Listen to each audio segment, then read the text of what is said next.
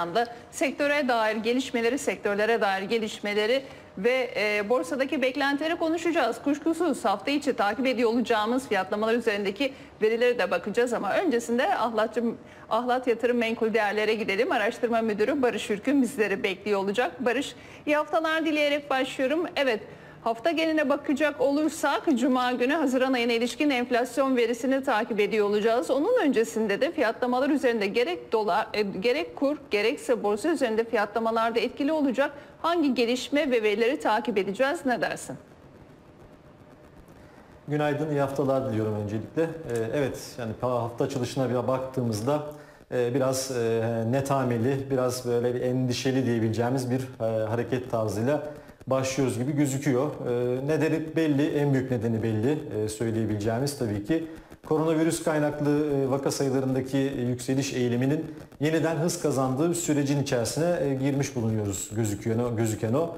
E, Haziran başı itibariyle önlemlerin birçok ülkede kaldırılması sonrasında biraz da ekonomik aktivitenin canlanmaya başladığı bir süreci de görmeye başladık. Bu bağlamda yaşanan e, iyimserlikle birlikte e, biraz da ekonomik aktivite canlılığın da ortaya koyduğu e, destekle birlikte diğer mali politika ve para politikası destekleri de endekslere onun olarak yansımaya devam etmişti. Fakat geldiğimiz nokta itibariyle geçen hafta özelinde baktığımızda vaka sayılarındaki tırmanma ve 10 milyonun üzerine doğru çıkan bir vaka sayısındaki artış eğilimi biraz yeniden endişeler arttırmış durumda ki zaten geçen hafta son gününde de baktığımız özellikle ABD'de vaka sayılarındaki bu hızlanmanın artmasıyla birlikte işte Texas, Florida, Kaliforniya gibi eyaletlerde kısmi de olsa bazı önlemlerin alınmaya başlanması moralleri biraz daha bozma yönüne doğru gitmişti. O yüzden satışların yaşandığını gözledik. Yani bir açıdan bakmamız gereken bu hafta yine aslında koronavirüs kaynaklı vaka sayılarındaki gidişat olmaya devam edecek gibi gözüküyor. E, geri kalan e, günler için e, değerlendirebileceğimiz bazı gelişmeler de aslında yaşanacak belki de düzeltme hareketleri içinde belki bir neden oluşturabilir. Onlar ne olabilir diye baktığımızda evet bu hafta gelecek olan bazı veriler var. Mesela PMI verisi var, verileri var dünya genelinde. Bunları görüyor olacağız. Bunlarda beklentilerin altında bir sonuç gelmesi durumunda düzeltme fırsatları olarak değerlendirilebilir bu hafta içerisinde. Bunun dışında Perşembe günü açıklanacak olan bu haftaya özel olarak baktığımızda ABD'deki tarım dışı istihdam verisi 3 milyonluk bir artış beklentisi var. E, burada beklenti altta kalması durumunda yeniden bir aşağı düzeltme eğilimlerinin artmasına doğru bir hareketler gözlenme durumu olabilir. Bunun dışında bu hafta e, geleceğimiz işte Temmuz sonu itibariyle hem ay sonu hem de e, ikinci çeyreği tamamlıyor olacağız.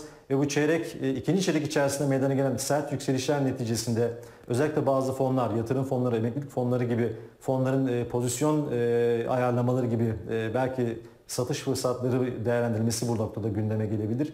Buradan kaynaklı olarak da bir endeks tarafında, endeksler tarafında aşan hareketler, düzeltme eğilimi olarak burada gözlenebilir.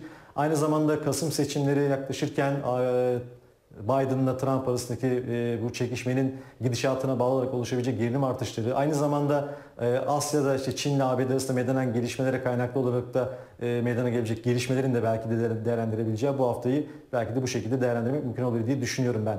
E, baktığımızda endeks tarafında evet yani bu e, Viyop tarafı açılış biraz yatay hafif satıcılı başlangıç yaptı. ABD vadelerde nispeten yatay hafif satıcılı bir seyir var. Asya piyasaları ABD'deki cuma günü kapanıştan sonra negatif tarafta hareket ediyor ve bu bağlamda da endekste de hafif satıcılı bir seyrin başlaması muhtemel gibi gözüküyor. O yüzden baktığımda ilk etapta kısa vadede baktığımda 113.500 desteği benim için bugün önemli. Geneline baktığımda haftanın da 111.500 desteğinin önemli olduğunu düşünüyorum. Yani orta vadede baktığımızda yukarı yönlü trendimiz bozulmuş değil endeks tarafında. Bu tarz geri çekilmeleri düzeltme hareketi olarak değerlendirip tekrardan buradan düzeltme hareketlerinden sonra yukarı yönlü hareketin gelip gelmeyeceğini takip ediyor olacağız diye düşünüyorum. E, dolar TL açısından baktığımızda da orada geçen haftaki Merkez Bankamızın faiz kararı tabii ki değişiklik olmadı faizde ve kur tarafında çok fazla etkisi olduğunu e, görmedik. Ve şu aşamada baktığımızda aslında yine e, 6.86 ile 6.83 arasında çok büyük bir hareketlilik olmadan hareketini sürdürdüğünü görüyoruz. E, bu tarafta dolar endeksi tarafında eğer bu yaşanan gelişmelerle güvenli varlık tarafındaki artış doları yükseltirse belki bir miktar yukarı hareket görürüz ama şu aşamada baktığımızda çok da fazla yukarı hareket olmasını beklemiyorum dolar TL tarafında. O yüzden de bahsettiğim aralığı bir süre daha sanıyorum izleyeceğiz gibi düşünüyorum. Ufak bir parantezde ons altını açmak gerekirse orada da 1765 seviyesi 18 e, Mayıs tarafında gördüğümüz en yüksek seviyedi. Şimdi onun üzerinde bir kalıcılık meydana geldiğini görüyoruz. Tüm yaşanan bu gelişmeler güvenli varlıklar tarafında altının değer kazanmasına, talep görmesine neden oluyor. 10 yıllık tahvil faizlerindeki bu güvenli varlıklar tarafına geçişle birlikte biraz aşağı yönlü hareketlilik ons altın tarafında da yukarı yönlü hareketin devamını sağlayabilir önümüzdeki günlerde. Özellikle burada 1765 üzerinde tutunma devam ederse eğer sonraki aşamalarda mevcut desteklerin mali politika, para politikaları destekleri, düşük faizler ve bu e, gelişmelerin eş- eşliğinde oluşacak endişeli hareketlerle e, ben ons altın tarafında da yukarı yönlü hareketin devam edeceğini açıkçası e, düşünüyorum diye söyleyebilirim. Çok teşekkür ediyoruz. Barış Ülkün'e Ahlatçı Yatırım Menkul Değerler Araştırma Müdürü Ülkün'ü uğurladıktan sonra hemen stüdyomuzda Gizem Uzun